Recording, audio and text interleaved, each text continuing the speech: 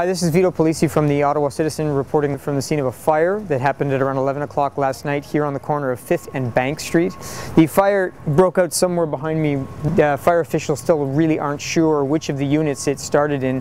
However, they're focusing most of the attention on the two in the middle, which seem to be the, uh, the most damaged. Uh, the building, the entire building, all the way down, is going to have to come down. It's, uh, it's been condemned. We've received confirmation from fire officials to that fact. Uh, according to several witnesses, witnesses who were in the building at the time.